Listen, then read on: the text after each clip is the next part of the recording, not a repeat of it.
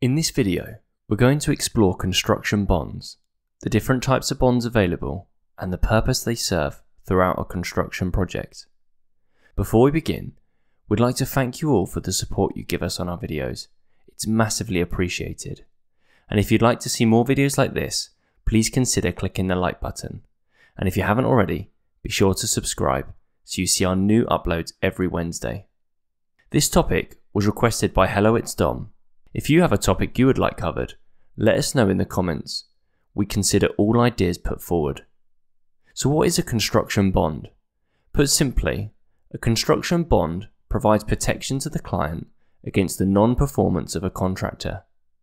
There are three parties involved in a construction bond the client, the contractor, and a bondsman slash surety. The bondsman, or surety, takes responsibility for the contractor's obligations by signing a bond. The bondsman is then obliged to pay the client upon certain criteria being met. It should be noted that under English law, there is an important difference between a bond and a guarantee. Some bonds, commonly used in construction, are actually considered guarantees under English law. In a construction context, a bond does not require the employer to establish a breach under a building contract to obtain an agreed sum in a bond.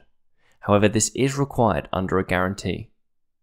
Construction bonds can be split into two categories on demand bonds, i.e., primary obligations, and conditional bonds, i.e., secondary obligations. With on demand bonds, the bondsman pays out an amount set out in the bond immediately without needing to establish the contractor's liability unless the demand is fraudulent. On demand bonds are more common in international projects and are seldom used in UK projects. Conditional bonds are only paid out provided certain contractual conditions have been fulfilled, usually insolvency or breach of contract by a contractor. As you can see, on demand bonds are more akin to what English law defines as bond, and conditional bonds are more akin to what English law defines as a guarantee. However, for the purpose of this video, and to keep in line with commonly used terminology, we will use both bond and guarantee synonymously. So what are the different types of bonds available? In this video, we're going to look at seven different types of construction bonds. Performance bond, tender bond or bid bond, retention bond, off-site materials bond, advance payment bond, defects liability bond, and adjudication bond. So to start off, we have performance bond. A performance bond can be seen as an insurance, protecting the client against the contractor failing to fulfill contract obligations. Usually set at 10%, this type of bond ensures the client has the funds to overcome the issues caused by non performance of the contractor. For example, the cost to find a new contractor to complete the works. Next, we have tender bond or bid bond. The purpose of a tender bond is to discourage the bidder from abusing the bidding process. The tender bond is submitted with a tender and ensures the contractor's commitment to start a project. The downside to this bond is it may discourage smaller companies from tendering for the works. Retention bond. We actually have a video about retention on our channel, which we've left a link to in the description.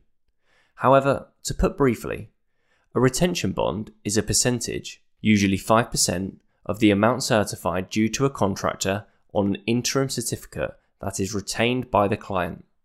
The purpose is to create a financial incentive for the contractor to complete the work successfully and provides as a protection to the project stakeholders in the event of problems, i.e., the retained money can be used as an insulation for that risk. Advance payment bond. Advance payment bond is used when, you guessed it, advance payment is made for construction goods or services. Sometimes in construction, advance payment is made when contractors incur significant startup costs for providing goods or service. This bond protects the employer in case something goes wrong with the execution of service or goods received. Off-site material bond. This is like the advance payment bond. Sometimes the contractor pays for materials before it is delivered to site. This bond is used to protect the program against delays. Defects liability bond. This bond is tied to the defect liability period, usually lasting 12 months after practical completion.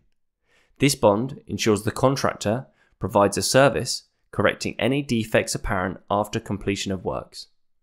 And finally, we have adjudication bond. Adjudication is the process for swift dispute resolution. Adjudication bonds are contractual bonds which require the bondsman to pay out based on an adjudicator's decision. Metroun, a commercial hub to your business.